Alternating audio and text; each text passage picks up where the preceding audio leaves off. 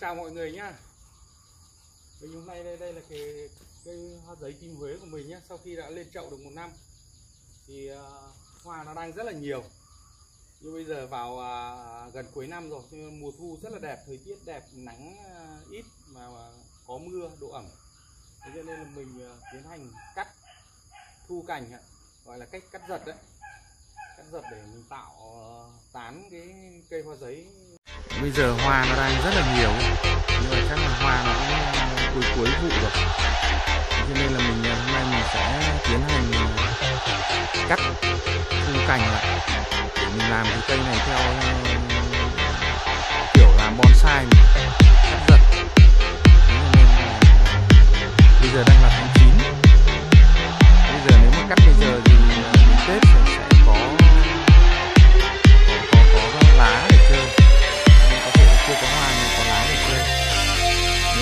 cái mùa này nó đang còn mưa nó mát trời thì cây nó có thể nảy lộc, đâm chồi làm cái lứa lộc mới được. Còn nếu mà cắt muộn quá vào mùa đông là nó bật mầm